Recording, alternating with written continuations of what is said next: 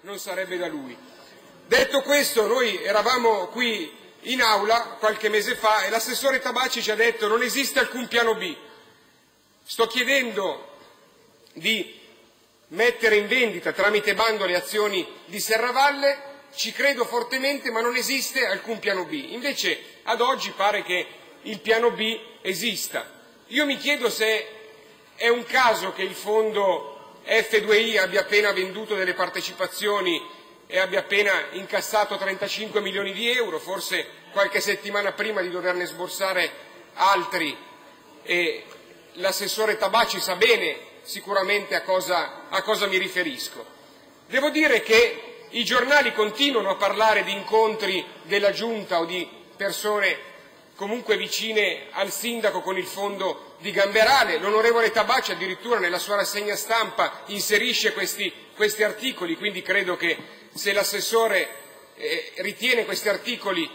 fondanti, giustamente li inserisce nella sua rassegna stampa personale, perché altrimenti io nella mia rassegna stampa non inserirei mai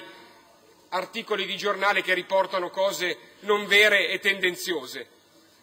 Poi la vita, Assessore Tabacci, è strana perché eh, tra qualche tempo vedremo quello che lei ha, ha preparato e ci renderemo conto se siamo noi dei matti oggi nel dire che probabilmente c'è già un piano prestabilito secondo il quale venderete Serravalle insieme a una parte di azioni, una parte di, azioni di SEA, oppure evidentemente qualcuno ci dirà tra qualche settimana avevate ragione. Mi riferisco magari a qualche collega di maggioranza che sta vivendo questa situazione non da protagonista come lei, assessore, neanche come, come il sindaco, anzi magari si chiede perché l'opposizione continua a punzecchiare dicendo che venderete Sea e Serravalle insieme. Allora questo probabilmente è il piano B, visto che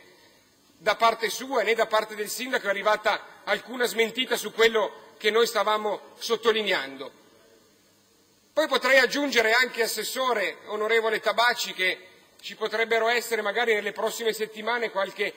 qualche convergenza anche con, con, la banda larga, ma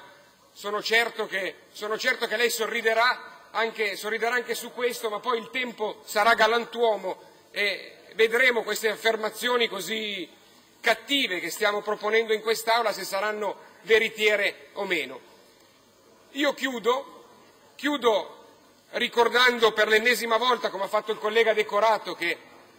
la provincia di Milano le ha fatto un assist nel cambiare lo statuto della Milano Serravalle, perché la provincia di Milano avrebbe tranquillamente potuto non cambiare lo statuto o avrebbe potuto cambiare lo statuto e mettere in vendita un pacchetto azionario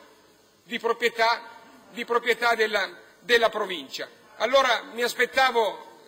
che l'assessore usasse la stessa veemenza con il quale ha detto alla provincia di scendere dal cavallo della Serravalle, magari lo stesso cuore, la stessa passione nel, nel ringraziare la Giunta Podestà e il Presidente della provincia di Milano. Poi vedremo quello che succede in quest'Aula. Io voglio solo dire alla capogruppo del PD, Carmela Rozza, che non è con noi che deve parlare, non è a noi che deve spiegare il perché il Comune vuole mettere in vendita Serravalle, ma avrebbe probabilmente dovuto farla con il collega, Bisca... con il collega Caputo del Consiglio provinciale che non ha votato la delibera del cambio di statuto, avrebbe dovuto farla con i colleghi di rifondazione comunista della provincia di Milano che non hanno votato, anzi hanno votato contro al cambio di statuto, avrebbe dovuto farlo col collega in provincia del consigliere Grassi, anche lui non ha partecipato al voto sul cambio di statuto della Serravalle. Allora oggi mi sarei aspettato, oltre all'intervento del capogruppo del PD, l'intervento del collega Grassi che portava avanti la sua posizione in linea con quanto fatto in provincia, l'intervento anche del Presidente del Consiglio Comunale Rizzo, che come ricordavo prima è pronto ogni tanto a togliere la casacca da Presidente, inserire quella da consigliere, scendere tra i banchi e fare le sue considerazioni politiche. Però forse oggi non è ancora il tempo, oggi è il tempo invece del popolo arancione, è il tempo in cui il capogruppo del PD parla a nome di tutta, di tutta la maggioranza e noi siamo qui per l'ennesima volta a chiedere chiarimenti, a sapere se esiste questo dossier, se esistono queste slide, In particolare, Assessore, se esiste la slide numero 24 del documento che sta girando nel fondo F2I fatto a 4, 6, 8 mani, non so quante mani, lei ne ha solo due di mani, quindi non è ovviamente tutta, tutta colpa sua, però con il principio di trasparenza ci aspettavamo che l'assessore venisse in aula dicendo sì, io ho incontrato il fondo gamberale, l'ho incontrato ovviamente al di fuori della del, del bando aperto, perché la legge ovviamente mi impone di non incontrare nessuno durante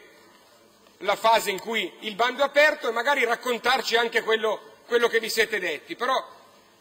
so di chiedere troppo, Assessore, però ognuno di noi ha una coscienza, ma soprattutto i colleghi di maggioranza tra qualche settimana probabilmente ci verranno a chiedere il perché oggi ipotizzavamo la vendita di Serravalle e Sea insieme, di perché ho parlato di banda larga, di perché ho parlato della slide numero 24 di questo dossier. Poi il tempo sarà galantuomo. Grazie.